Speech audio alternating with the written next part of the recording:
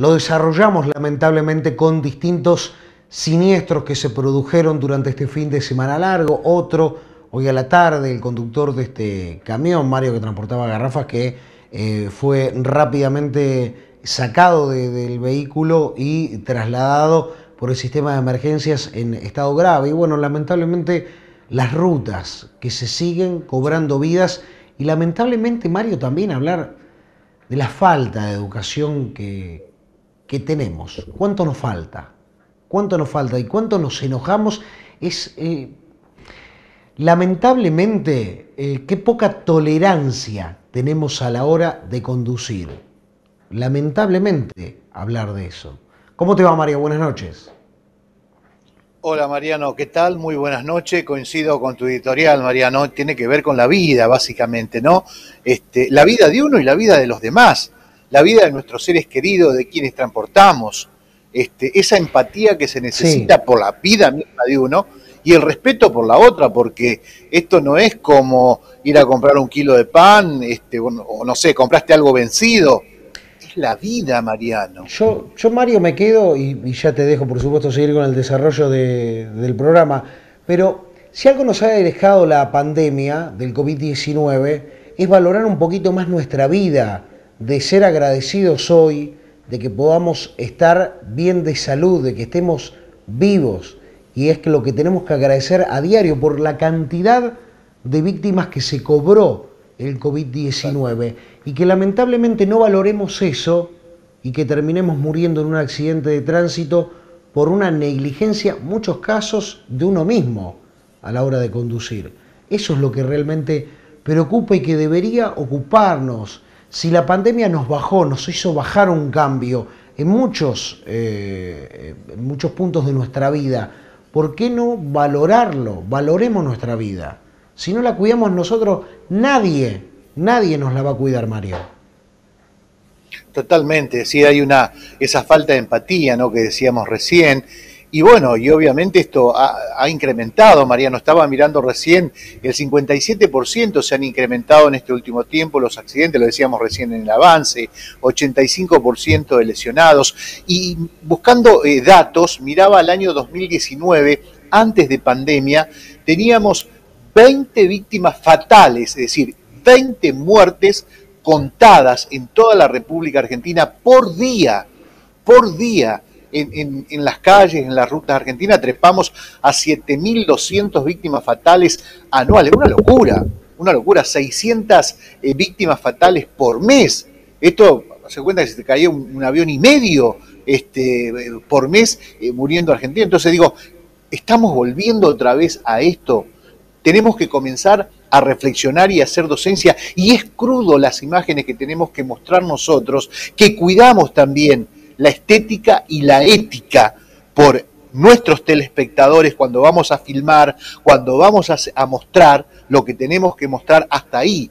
Pero hay cosas que uno como periodista lo ve y está ahí en el lugar, los chicos están en el lugar, como los bomberos, como la gente de los sistemas de salud, viendo la siniestralidad y los alcances este, de, los impactos, ¿no? Y realmente eh, la destrucción total de, las personas que manejan, de los acompañantes, de quien choca. Entonces, digo, debemos volver a poner esto y comenzar a reflexionar en los medios cuanto antes, ¿no? De forma urgente.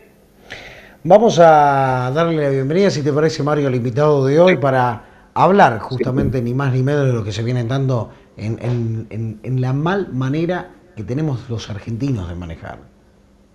Bien, lo tenemos entonces ya a experto en seguridad vial, eh, Pedro Cejas. Pedro siempre nos ayuda. Pedro, bienvenido, un gusto tenerte allí y bueno, eh, convocarte también por este tema, ¿no? Que tiene que ver, obviamente, otra vez con, las rutas, lamentablemente con sangre, con, con muertes, con siniestros viales y parece que, como decíamos recién, no nos pone sensible ni la pandemia, ¿no? ni las multas que superan los 30 mil pesos de multa. Este, ¿Qué nos está sucediendo nuevamente, Pedro? ¿Cuál es la lectura? Bienvenido.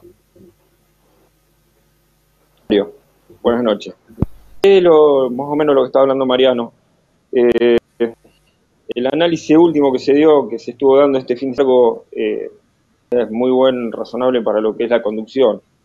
En la mayoría de los casos hubo víctimas fatales. Las víctimas fatales, más o menos en cuatro o cinco accidentes que hubo de vehículos, fueron por no uso del, cinturón de seguridad. Fueron despedidos. El mismo conductor o los acompañantes fueron despedidos por, por no uso del cinturón de seguridad. Una de las del puntos tiene que tener como con estar firmemente amarrado dentro del habitáculo. Eh, Pedro, digo, más allá de, lo que se trata, que los, coches tienen sensores que te avisan, este, de la educación vial que todos ya debemos tener incorporado, eh, no, no damos con, esta educación, ¿no? De usar el cinturón de seguridad. No, no, no, no, con la formación de la educación. Además, eh, es la velocidad, el apuro, el apuro en llegar. Toman, yo cuando doy a veces las charlas, yo, yo estoy remarcando siempre con videos que son alternativos al sistema de, educación vial, en lo que es viaje. Siempre, la mayoría de las veces, al fin de semana largo lo, lo, emito dentro del sistema, pero es increíble que la gente esté apurada para ir a gozar o a, estar tranquilo un fin de semana, viajar apurado, exceder la velocidad, no cuidarse, imprudencia, la mayoría de los accidentes fueron todos sobre, sobre autopista. Autopista a Buenos Aires, autopista a Córdoba, autopista a Santa Fe. Es increíble. Pedro, el tema de ingesta de alcohol. Y la ingesta de alcohol, eh, en el último análisis que sacaron esta semana la Agencia de Seguridad Vial, estaba demarcando un alcohol. Eh, sí, sí, de 10 conductores, 3 con, alcoholemia positiva. Em, debemos tener más controles, más multas, más radares, no sé, más. Dice que si la ley insiste, la persona eh, y, se aplica a la persona, eh, se aplica al sistema. Parece que es cierto, que tenemos que ser así.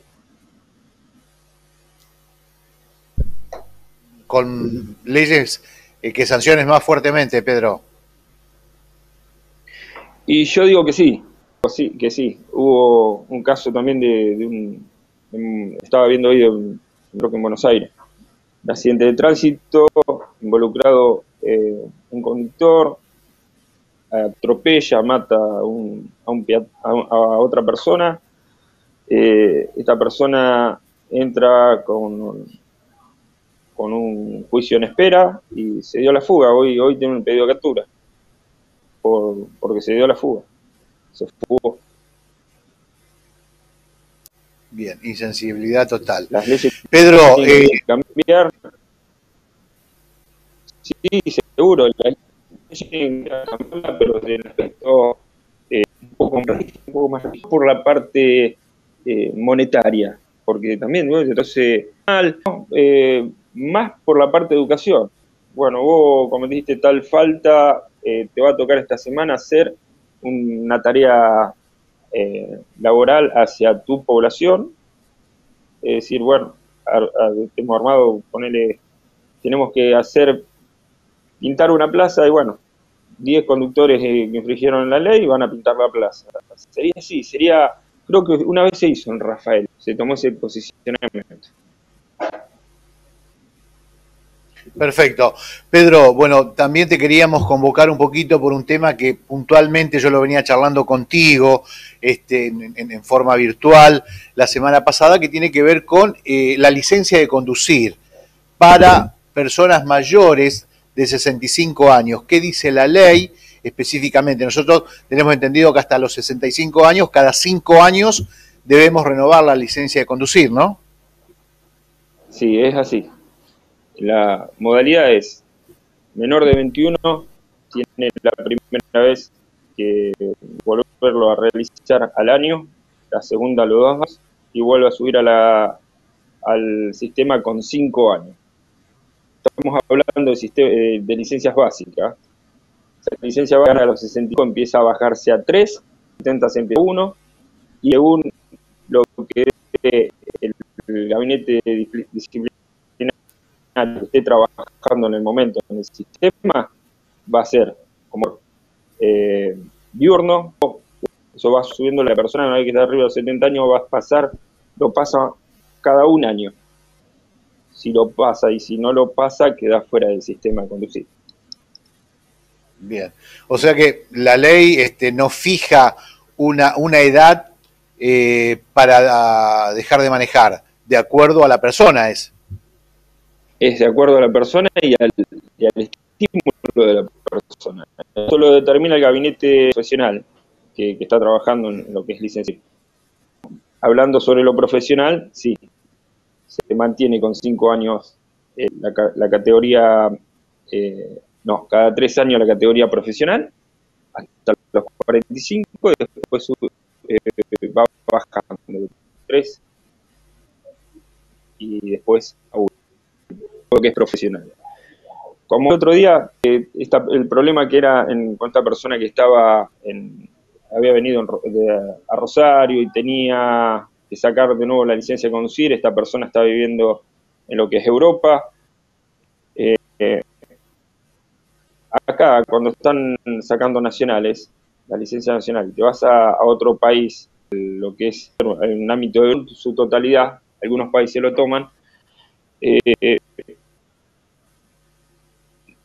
para revalidar la, licencia mm, que corresponde al, al, país que vas, al, al, sistema que vas, para revalidarlo, porque allá lleva 10 años, no es lo mismo que acá, que volver a cambiarlo a los 5, o a los 3, o al 1. Eh, esta gente, como vos sos argentino, son la nacional argentina, estás expuesto en otro país, puedes revalidar con tu licencia nacional. ¿Está? Por eso a veces cada cinco años para hacer válida nuestra, para poder estar en lo que es Europa. Pero esta persona,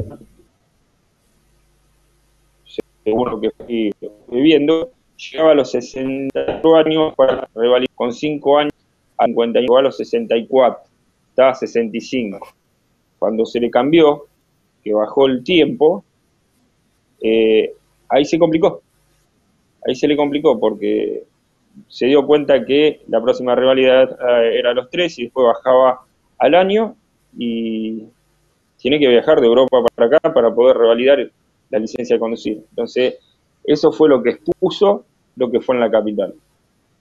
Pero es así, el sistema nacional pueden revalidar en Europa. Europa eh, está muy avanzado según lo que estábamos hablando, lo que es eh, el sistema vial, que tanto que para obtener la licencia de conducir se va seis meses para poder obtenerla, obtenerla en mano.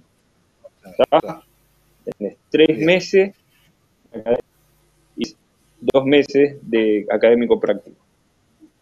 Bárbaro. Pedro, eh, queremos agradecerte como siempre la predisposición para charlar con nosotros eh, eh, en esta situación y nada más y nada menos que con tema de siniestros viales y este, la renovación de la licencia a conducir. Nuevamente agradecido, Pedro. No, no, gracias a vos. Cualquier cosa de que estamos en contacto. Bien, Pedro Ceja, eh, allí nos acompañaba entonces, este instructor en educación vial, hablando un poco de esta situación realmente, este, si se quiere, eh, conflictiva, ¿no? Que comienza a vivir la República Argentina otra vez en materia de eh, siniestros viales.